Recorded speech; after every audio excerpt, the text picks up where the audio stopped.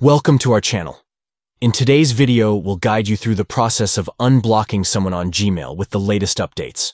If you've accidentally blocked someone or just need to reconnect, we've got you covered. Let's dive right in. First, open the Gmail app on your Android device.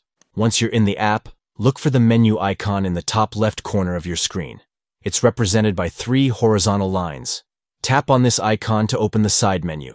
Next, scroll down and select Settings from the menu. This will take you to the settings page where you can manage various aspects of your Gmail account. If you have multiple email accounts linked to your Gmail app, choose the specific account you want to work with. Now tap on Manage Blocked Users in Chat.